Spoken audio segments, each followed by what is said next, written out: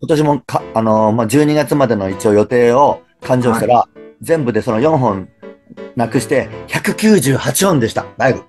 98 198音。365日のうちの198 8日ライブ。働きもんですよね。11月の2日が和歌山で、はい。3日が大阪で、お和歌山あるんですね。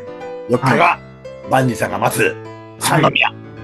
また、あの、一緒に何曲かやらせていただいて、これがまた楽しみでね。はい。あのー今度はね、じゃあね、あのーはい。ほら、ぼちぼち、踊りまへんが、ほんまですか？一緒にやりましょうよ。そんな素敵なことがあるんですか？乗っかりたいな。どうしよう、これ。ちょっと僕、これ、番組どころじゃなくなってしまいましたよ。番組まとめないといけないですね。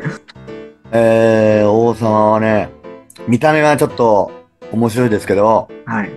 それとは、こう、違ってですよ。はいロックへの愛、深い愛、知識、そして、ギター、テクニック。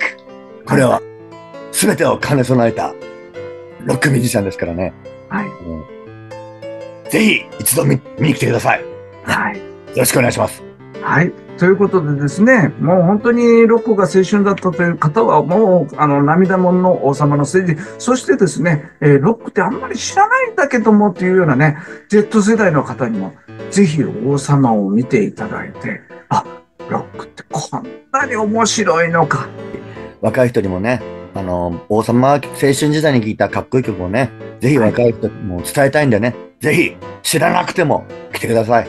ねあの、2025年はですね、今、あの、昭和歌謡ブームが起こっておりますが、ほ昭和ロックブームが王様と共にやってくるということをちょっとバンディとしては予言させていただきたいと